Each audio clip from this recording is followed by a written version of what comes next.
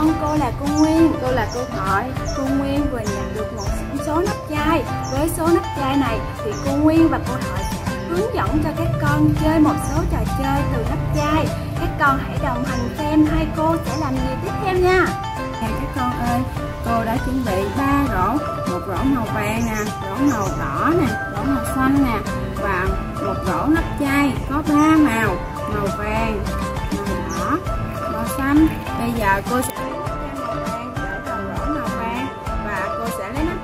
đỏ để vào rổ màu đỏ.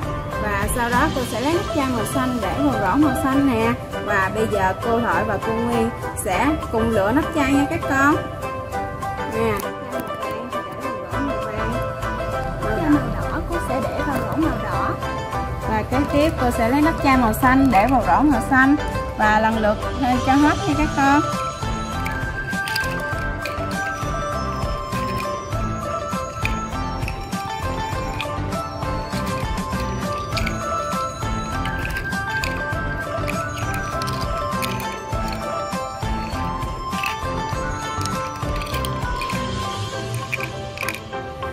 Các con ơi, bây giờ hai cô đã phân loại màu rồi. Gỗ màu đỏ thì cô có nắp chai màu. Ừ, Gỗ màu vàng thì cô có nắp chai màu vàng. Còn gỗ màu đỏ thì cô có nắp chai màu đỏ. Gỗ màu xanh thì cô có nắp chai màu xanh. Các con ơi tiếp tục uh, với những cái nắp chai như vậy thì cô Nguyên sẽ hướng dẫn cho các con thêm một trò chơi. Đó là chúng ta sẽ dùng những nắp chai này để chúng ta sẽ xếp lại thành hình tròn đó các con. Bây giờ các con hãy cùng xem cô Nguyên hướng dẫn nha. Để xếp xếp được hình tròn thì ở đây cô Nguyên có à, chai sữa chua đó các con. À, cô Nguyên sẽ đặt chai sữa chua xuống bàn. Sau đó cô Nguyên sẽ dùng các nắp chai này đặt sát vào thân của chai sữa chua. Các con cứ xếp như vậy. À, xếp các nắp chai liền kề nhau. Xếp như vậy à, cho đến à, hết à, thân của chai nha các con.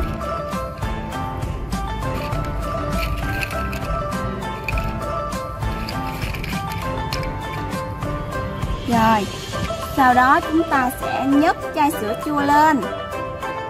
À, cô Nguyên đã được hình tròn rồi đó các bạn. Rồi.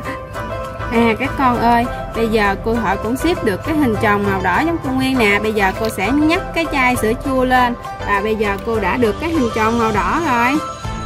À, Bây giờ chúng ta à, sẽ tiếp tục xếp một hình tròn khác hình tròn hồi nãy nha các con. Bây giờ cô Nguyên sẽ xếp hình tròn màu vàng Thì cô Nguyên sẽ dùng nắp chai màu vàng. Chúng ta cũng thực hiện tương tự như à, hình tròn hồi nãy. Chúng ta sẽ à, xếp nắp chai vào sát thân thân của chai sữa chua. Rồi chúng ta sẽ xếp xung quanh của chai nha các con.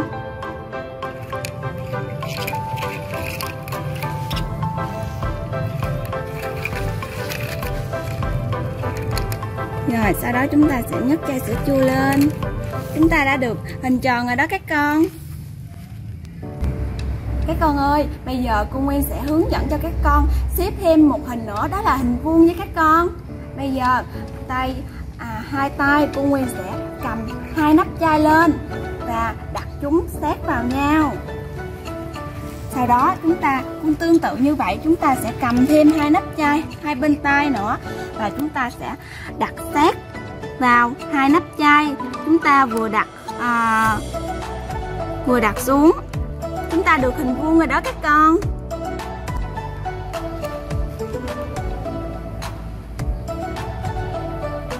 À các con ơi, bây giờ cô sẽ thích xếp cái hình vuông màu khác nữa. Bây giờ cô hội sẽ dùng hai tay cầm hai nắp chai.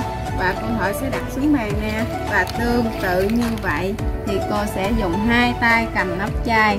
Cô thỏ sẽ đặt. Kế tiếp, cái hai nắp chai ở phía trên Và cô thỏ đã thành được cái màu hình vuông rồi.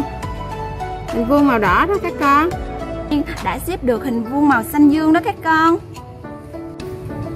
các con ơi, cô Nguyên và cô Thoại đã vừa hướng dẫn cho các con um, hai trò chơi từ các nắp chai. Các con nhớ thì uh, khi chúng ta chơi xong thì các con phải dọn dẹp các nắp chai thật là gọn gàng nha.